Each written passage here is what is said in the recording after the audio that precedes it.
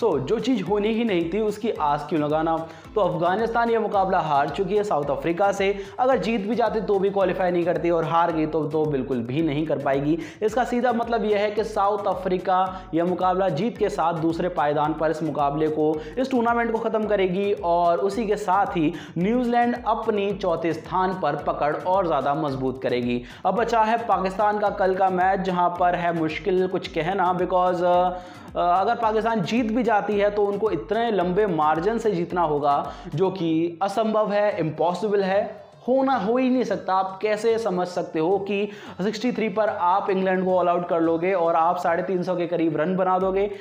तो ये एक आप कह सकते हैं, एक चमत्कार ही चाहिए पाकिस्तान को अगर उनको सेमीफाइनल खेलना है। तो वैसे एक बार ऐसा और हुआ था, पिछले साल की अगर हम टी ट्वेंटी वर्ल्ड कप की बात करें, पाकिस्तान ऑलमोस्ट बाहर हो चुका था। एक मुकाबला बचा था साउथ अफ्रीका नैदरलैंड से जहाँ पर नैदरलैंड ने साउथ अफ्रीका को हरा दिया था और साउथ अफ्रीका उस टूर्नामेंट से बाहर हो गई थी और उनकी जगह पर, यहाँ पर पाकिस्तान की टीम को सेमीफाइनल में एंट्री मिल गई थी। तो ऐसा कुछ हो सकता है मे भी देखने वाली बात होगी। तो आइए दोस्तों, आपको बताते हैं आज के मैच में हुआ क्या। अफ़गानिस्तान की टीम ने बनाया एक अच्छा खासा स्कोर, दो रन का, जो कि आप कह सकते हैं कि डिसेंट स्कोर होता है। और इसमें जो महत्वपूर्ण बल्लेबाजी की, वो थी अजमतुल्ला उमरजई की जहाँ पर अगर उनकी वो पारी ना आती तो शायद अफ़गानिस्तान की टीम डेढ़ सौ भी ना बना पाती।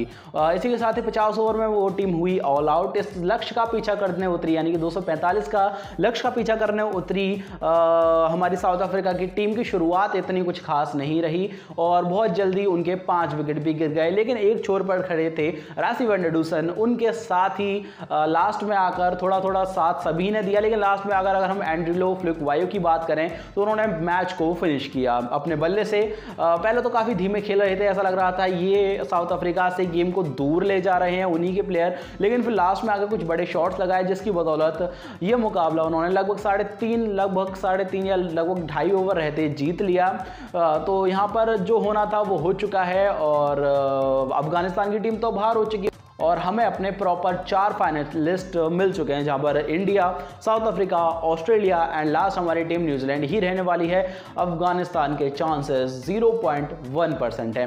सो अब आप बताइए, आपको ये वीडियो कैसी लगी? और आपको एक आईपीएल की न्यूज़ और देते हैं। यहाँ पर मुंबई इंडियन ने ट्रेड किया है रोमारियो शेफर्ड को लखनऊ सुपर जैंट से मतलब कि आपको अगले सीज़न यानी कि 2024 में Romario Shepherd Lucknow Super Giant से खेलते हुए नहीं दिखेंगे। वो पार्ट होंगे मुंबई इंडियन का, जो कि आप समझ सकते हैं, और मैं कहना चाहूँगा एक बेटर डील है बिकॉज़ रुमानो शेफर्ड में वो काबिलियत है जो कि आपको लगभग दो से ढाई ओवर बॉलिंग करके दे सकते हैं तीन ओवर बॉलिंग करके दे सकते हैं और फिर अच्छे खासे रन बना सकते हैं। अगर उनको आप नंबर छः सात आठ पर बल्लेबाजी के विकल्प के तौर पर सोच रहे हो तो।